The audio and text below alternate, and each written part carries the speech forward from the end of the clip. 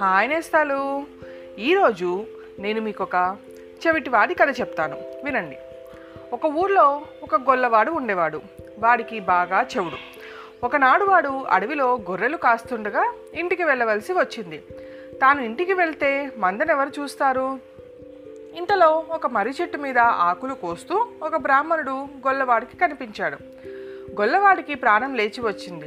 ఇదిగో బాపనయ్య నేను ఇంటికి పోయి ఇప్పుడే వస్తాను. నేను వచ్చేదాకా నా మందని చూస్తుంటావా? నీకొక కుంటి మేకనిచ్చుకుంటాను అని బ్రాహ్మణుడికి కేక పెట్టి గొల్లవాడి ఇంటికి వెళ్ళాడు. అయితే గొల్లవాడి కేక బ్రాహ్మణుడు వింటే కదా? గొల్లవాడికి చెవుడైతే బ్రాహ్మణుడికి రెండింతలు చెవుడు. మళ్ళీ గొల్లవాడు తిరిగి వచ్చే సమయానికి బ్రాహ్మణుడు ఆకులు కోసుకొని మర్రి చెట్టు దిగి వస్తున్నాడు. గొల్లవాడు తన మంద అంతా ఉండటం చూసి సంతోషించి అన్న ప్రకారం ఒక కుంటి మేకను తీసుకొని ఇదిగో బాపనయ్య నేను ఇస్తానన్న ప్రకారం కుంటి మేకను ఇచ్చేస్తున్నాను. పట్టుకెళ్ళు అన్నాడు. గొల్లవాడు కుంటి మేకను తెచ్చి తన మొహం మీద పెట్టడం చూసి బ్రాహ్మణుడు నీ మేక గొడవ నాకేం తెలియదు పో అని కసరాడు. అయ్యే బాబో నీకు కుంటి మేకను ఇస్తానని మొదటే చెప్పాను. నేనేం ఆడి తప్పేవాడిని కాదు. ఇదిగో కుంటి మేక అని గొల్లవాడు దాని కుంటికాలు బ్రాహ్మణుడికి చూపించాడు. ఇది మరీ బాగుంది. నేను ఎక్కడో చెట్టు మీద ఉన్నవాడిని నీ మేక కాలు నేను ఎట్లా విరగ్గొడతాను? అన్నాడు బ్రాహ్మణుడు. బ్రాహ్మణుడి మాటలు గొల్లవాడికి గొల్లవాడి మాటలు బ్రాహ్మడికి అర్థం కావట్లేదు వినిపించట్లేదు. బ్రాహ్మడు చాలా ఆశాపాతకుడై మంచి మేక నిమ్మంటున్నాడు అనుకున్నాడు గొల్లవాడు.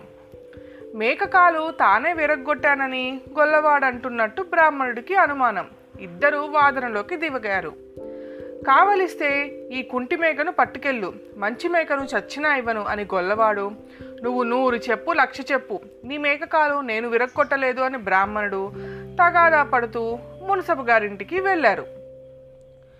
మునసబు గారింట్లో ఆనాడు చాలా గొడవైంది. ఆయన పొద్దున్నే లేచి పెళ్ళాంతో పోట్లాడి ఆమెని చెడామడా తిట్టి అన్నం తిననని భీష్మించుకుని వచ్చి వీధి అరుగు మీద కూర్చున్నాడు. సరిగ్గా ఇదే సమయానికి గొల్లవాడు బ్రాహ్మణుడు ఆయన దగ్గరికి వెళ్ళారు. చూడండి మునసబు గారు ఈ బ్రాహ్మణుడికి ఆ మాత్రం న్యాయం ఉండక్కర్లా అని గొల్లవాడు తన కథ అంతా చెప్పాడు. మునసబు గారు మొహం మటమటాలు ఆర్చుకుంటూ గొల్లవాడు చెప్పిందంతా విని బ్రాహ్మణుడి కేసి చూశాడు. తన మీద గొల్లవాడు లేనిపోని ఫిర్యాదు చేసి ఆయనకు తన మీద కోపం తెప్పించాడని అనుమానం వేసి బ్రాహ్మణుడు పొద్దున్నే తను లేచినది లగాయత్తుగా జరిగిందంటూ జాలిగోలు పెట్టేట్టు చెప్పాడు. కానీ ఇదంతా ఎవరు విన్నారు?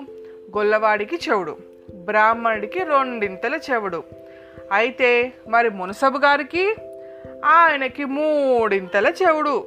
అంతా విని ఆఖరికి మీరు వెయ్యి చెప్పండి లక్ష చెప్పండి. నేను మాత్రం దాని చేతి పచ్చి మంచినీళ్ళు తాగితే ఒట్టు అన్నాడు మున్సబు గారు.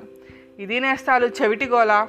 ఇలా ఉంటుంది ఒకరు చెప్పేది ఒకరికి అర్థం కాక ఎవరి గోల్లో వాళ్ళు ఉన్నారు మళ్ళీ ఇంకో మంచి కథతో రేపు కలుసుకుందాం. మీ జాబిల్లి.